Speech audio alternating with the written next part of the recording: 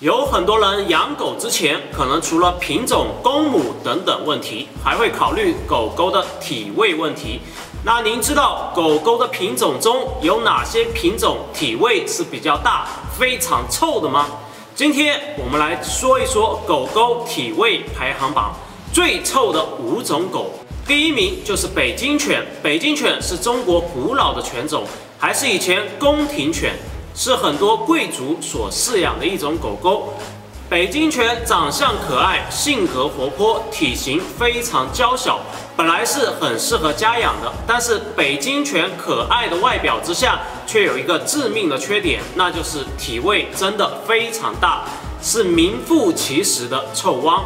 饲养北京犬，平时除了要定期的帮它洗澡、清洁口腔等等。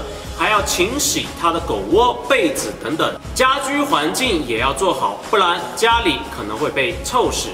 第二名就是巴吉杜犬，巴吉杜犬是一种相当古老的犬种，虽然长着一副忧伤的脸孔，但其实它的性格非常活泼开朗，而且还很聪明，非常善解人意，服从性也极度的好，是非常优秀的宠物伴侣犬。不过巴吉杜犬的体味也是比较大的，加上因为经常会流口水，那就更加臭了。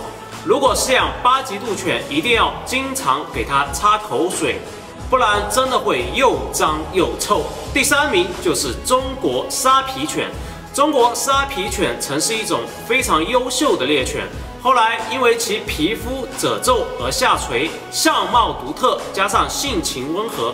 而成为世人钟爱的伴侣犬。不过沙皮犬性格很好，但是体味真的让人有点受不了。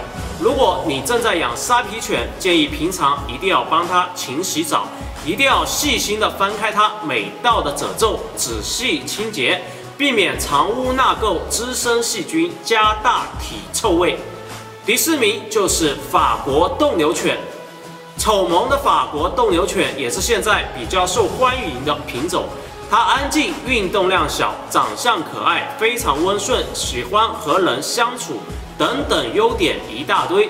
不过让人爱不释手的法斗，体味也是非常大的，而且它还很爱流口水，流个不停。一到了夏天，地上一滩都是口水。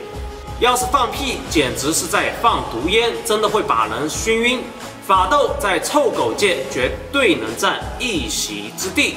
第五名就是金毛犬，金毛犬是世界上三大无攻击性犬种之一，性格极度温顺、贴心友好，是非常有名的暖男狗。